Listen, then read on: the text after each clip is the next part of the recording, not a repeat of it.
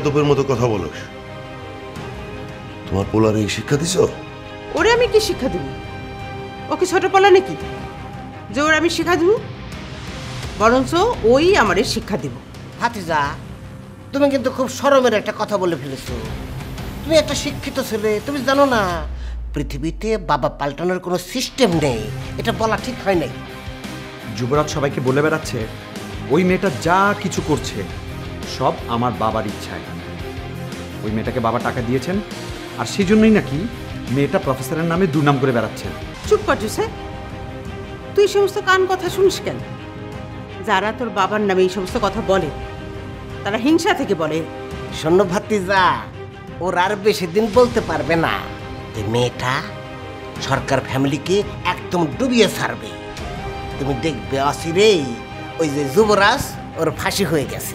আর যুবরাজের আব্বা তার সরকার, সে জেলে বসতেছে।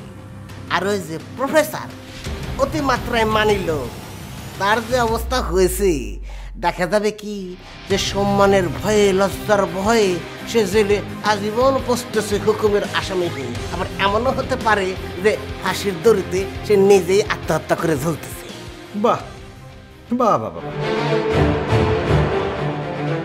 ফ্যান্টাস্টিক ওয়ান্ডারফুল দারুণ আইডিয়া ওই আইডিয়াটা কার? ড্যাডি। নিশ্চয়ই তোমার। ড্যাডি, একটা কথা মনে রেখো। সত্য কোনোদিন চাপা রাখা যায় না। তুমি সত্যের মুখ বন্ধ করতে। আর কাকে কাকে মারবে বলো। জবাব দাও। এত মানুষকে সরিয়ে তোমার কি লাভ হবে, বাবা? কি লাভ হবে? ফাঁকা মাঠে আমি একাই খেলব। আমি একা প্লেয়ার আমি আম্পায়ার ছক্কার ছক্কা। ড্যাডি তুমি ব্যাপারটাকে যত সহজ মনে করছ, ব্যাপারটা অত সহজ নাও হতে পারে। বরঞ্চ তুমি এখনকার চেয়ে আরও অনেক বেশি বিপদে পড়তে যাচ্ছ। তোমার ভুলে গেলে চলবে না। তুমি যেখানে এক ঢিলে তিনজন শত্রুকে সরাতে চাচ্ছ, সেখানে নতুন ছয়টা শত্রুর জন্ম হচ্ছে। মনে রেখো চান সরকারের ওয়াইফ কিন্তু শিক্ষিত মহিলা। আর তার ছোট ছেলে? তার ছোট ছেলে আরও বেশি হাইলি এডুকেটেড আর প্রফেসরের দুজন প্রতিবাদী শিক্ষিত মেয়ে? তোমাকে কিন্তু এমনি এমনি ছেড়ে দিবে না। তুমি যে স্বপ্ন দেখছ সেই স্বপ্ন কোনো দিন পূরণ হবে না। কথাটা মনে রেখো। সুপার এই, তোর ভাতিজা আমারে জ্ঞান দিয়ে গেল। সেটা কি বুঝছস? জোসেফ যা কয়ে গেল, সত্যি কথাটাই বলে গেল। আর জোসেফ আপনার সন্তান, আপনার ভবিষ্যৎ। ও কোনোদিন মিথ্যা কথা বলবে না। কি দরকার ছিল? কি দরকার ছিল প্রফেসরের নিয়ে এই নাটক খেলার?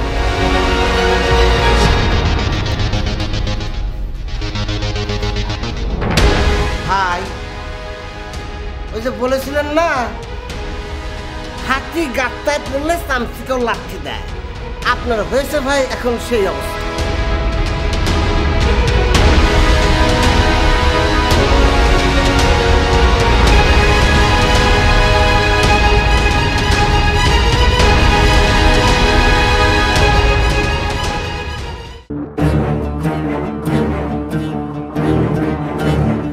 এসব কি শুনছি? কি? কি শুনছো? ওই যে মেয়েটা প্রিয়া যে তোমার নামে মামলা করেছে ওই মেয়েটাকে নাকি পাওয়া যাচ্ছে না। হ্যাঁ তাই তো শুনলাম। তুমিও শুনেছ? আচ্ছা মেয়েটা কোথায় যেতে পারে বলো তো? নাকি গতবারের মতো আবার কিডন্যাপ হলো? কেউ কিছু বলতে পারছে না। শুধু সবাই বলছে মেয়েটা নেই। গতবার তো যুবরাজই মেয়েটাকে কিডন্যাপ করেছিল। আমার কি মনে হচ্ছে জানো? এবার হয়তো যুবরাজের ভয়েই মেয়েটা কোথাও গা ঢাকা দিয়ে আছে। হতে পারে কোথাও লুকাতে পারে অথবা নতুন করে কেউ কিডন্যাপও করতে পারে। কিডন্যাপ? আবারও কিডন্যাপ? কে কিডন্যাপ করেছে? সেটা তো বলা যাচ্ছে না। আবারও কিডন্যাপ হলে তো সমস্যা। মেয়েটি বেরিয়ে এসে তোমার নামে আবারও উল্টাপাল্টা একটা মামলা করবে। তখন কি হবে?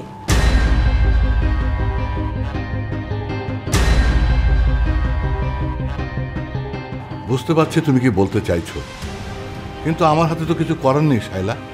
আমি কি করব? কিছু করার নাই বলে কি এভাবে বসে বসে নিজের ধ্বংস দেখবে? কোনো কিছু ধ্বংস হবে না। শোনো শাইলা সাময়িকভাবে সবকিছু তুমি অন্ধকার দেখছ কিন্তু একদিন একদিন সবকিছু আলোয় উদ্ভাসিত হয়ে উঠবে। মিথ্যে অন্ধকারে ঢেকে যাবে। আর সত্য আলোর মতো বেরিয়ে আসবে।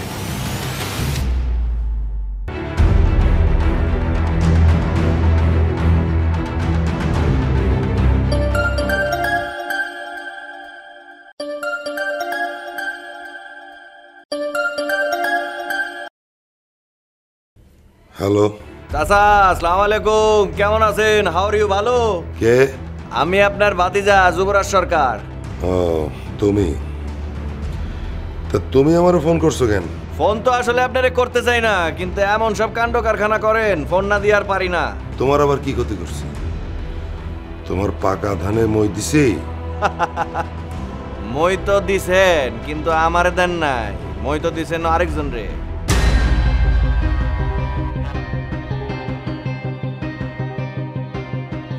এই বলো তোমার কি মাথা খারাপ হয়ে গেছে পাগলা কুত্তা হয়ে গেছো?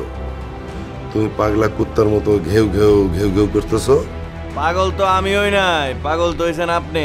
নাইলে প্রফেসরের লাগে এমন কাণ্ড কেন ঘটাইলেন? মানে? আপনার ছেলের সাথে প্রফেসরের মাইয়া বিয়া দেয় নাই। তাই বলা এইরকম একটা নোংরা মেয়েরে দিয়া প্রফেসরে ফাঁসাইবেন? Dirty mind very dirty mind you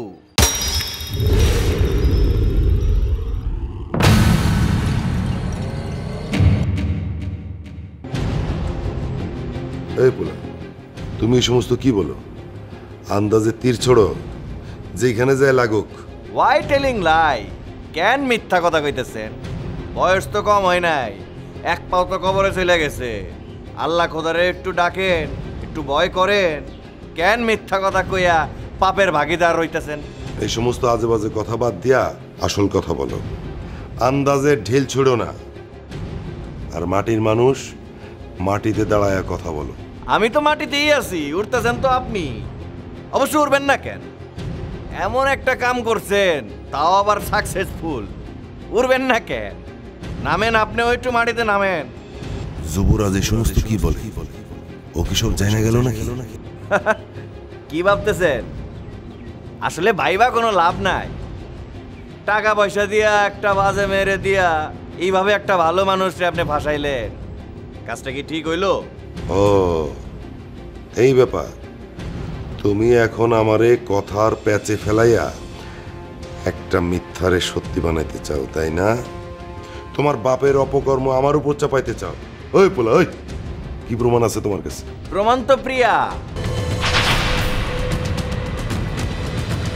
প্রিয়া যে হঠাৎ গুম হয়ে গেল কেন গুম হয়ে গেল? একবারও কি প্রশ্ন জাগে নাই মনে? প্রিয়া? ও কই? তুমি কি ওরে লুকায় রাখছো? Priya why you know Priya? Priya রে চিনলেন কেমনে আপনি? আর প্রিয়ার জন্যই বা আপনি এত উদ্গ্রীব কেন? আরে ওই ঘটনার পর থেকে তো ওই মায়ারে সবাই জানে। আর ওই মায়াটারে যে পাওয়া যাইতেছে না সেটাও সবাই জানে। এটা তো নতুন কিছু না। ভেরি স্মার্ট যাই হোক প্রিয়া আমার কাছে আজ হোক অথবা কাল হোক স্বীকার করবেই। কার অনুপ্রেরণায় প্রিয়া এই কাজ করতেছে? মায়ের একটু কম হইতেছে তো, তাই কথাও কম কইতেছে। টর্চারটা যখন একটু বাইরে যাব, তখন কথাও বেশি বলবে, আর তখনই বাইর হবে আসল চোরটা কি? যাই হোক, চাচা be careful take care bye bye I love you Priya এখন যুবরাজের কাছে আটক। কি সর্বনাশ। মায়া মানুষ কি পেটে কথা রাখতে পারব? না মনে হয় না। কি করা যায়?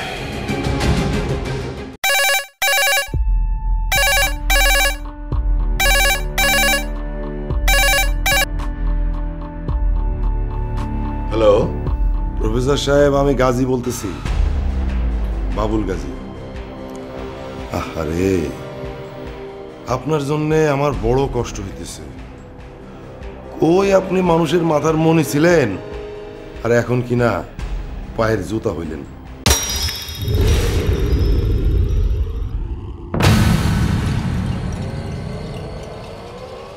আপনার সমস্যা কি? শুনুন, এরই নাম হচ্ছে জীবন। আমি যদি নির্দোষ হই আবারও মানুষের মাথার মনি হয়ে যাব। আপনি নির্দোষ প্রমাণ হবেন। এখনও সেই আশা রাখেন না? আশার আরেক নাম হচ্ছে জীবন। আমি অবশ্যই আশা রাখি। মামলা তো একটা না। প্রথমে নারী নির্যাতন তারপরে হত্যার চেষ্টা এবং কিডন্যাপের জন্য হুকুমের আসামি। আরও নতুন করে একটা মামলা হইতে যেতেছে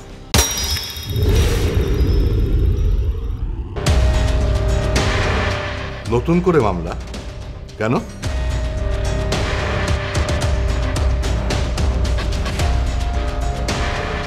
ও খবর তাইলে আপনি এখনও পান নাই। আপনার প্রিয় যুবরাজ আবারও ওই মেয়েটারে কিডন্যাপ করতেছে। আবার কেন কিডন্যাপ করেছে? কেন সেটা আমি কীভাবে বলব? আমার তো মনে হয় যে যুবরাজের মাথা নষ্ট হয়ে গেছে। ছেলেটা কি পাগল হয়ে গেছে? ওই ছেলেটারে নিয়ে এত ভাবার দরকার নেই আপনার। আপনি নিজেরই নিয়ে ভাবেন। একবার তো আপনি কিডন্যাপের হুকুমের আসামি হলেন। আর কোনো কারণে এইবার যদি যুবরাজ মায়াটারে খুন করে ফেলায়, তাইলে তাইলে আপনি হবেন খুনের হুকুমের আসামি। ফাঁসলেন আপনি তো পুরাই ফাঁসলেন প্রফেসর সাহেব। ওই যুবরাজ আপনার ফাঁসায় দিল।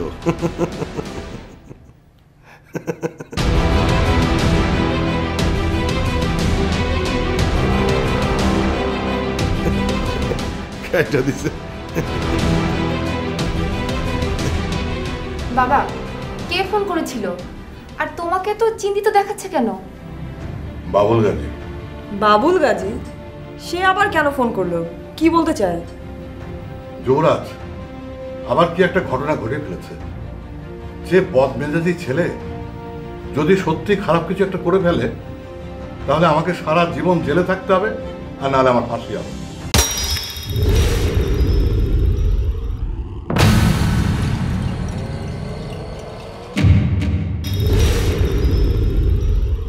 বাবা এসব কি বলছো? কেন? ও আবার কি করেছে? যুবরাজ আবারও প্রিয়াকে কিডন্যাপ করেছে। কি বলছো? একবার কিডন্যাপ করে দেখেনি কি হয়েছে? আবার কেন কিডন্যাপ করতে গেল? গতবার কিডন্যাপ করে সে নিজেও তো মামলায় পড়ল।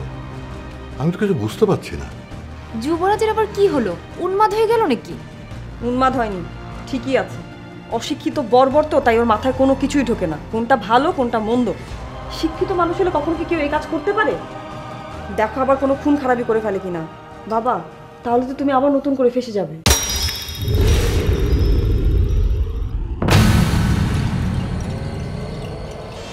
আমি এক কাজ করি। আমি যুবরাজকে একটা ফোন দিই। হ্যাঁ বাবা তুমি তাই করো। ওকে ফোন দিয়ে বলো যে সে একই কাজ কেন বারবার করছে আর সাথে একটা ধমকও দিবে। বাহ সুন্দর একটা কথা বললি সাথে একটা ধমক দিবে। ও কি বাবার স্টুডেন্ট যে বাবা ধমকে চুপ হয়ে যাবে? আর বাবার স্টুডেন্টরা যা করছে তা তো দেখতেই পাচ্ছি। শুনো বাবা ওকে ফোন দেওয়ার কোনো দরকার নেই। না না ফোন না দিলে অসুবিধা হয়ে যাবে। ওকে কন্ট্রোল করতে হবে। ও যে যেদি ছেলে শেষ পর্যন্ত হয়তো মেয়েটাকে খুনই করে ফেলবে। তখন তো আমরা সমস্যায় পড়ে যাব। না বাবা ওকে ফোন করলে সমস্যা আছে। নিশ্চয়ই পুলিশ এখন ও ফোন নাম্বার ট্রেস করছে। তুমি যদি ওকে একবার কল করো তাহলে তোমার নাম্বারটাও পুলিশের কাছে চলে যাবে। তখন তোমরা দুজন একই মামলায় ফেসে যাবে। আচ্ছা পুলিশ কি জানবে না? বাবা যুবরাজকে ফোন দিয়ে ভালো কথা বলছে অপরাধ করতে বলছে না। এই সমস্ত বিষয় কেউ জানতে যাবে না। শুধু এইটাই সবাই দেখবে যে বাবা যুবরাজকে ফোন দিয়েছে এবং ফোন করে ওকে অপরাধের জন্য প্ররোচনা দিয়েছে। তখন বাবা সত্যি সত্যি হুকুমের আসামি হয়ে যাবে। সব চক্রান্ত ষড়যন্ত্র। আমার ছেলেরে ফাঁসানো হইতেছে।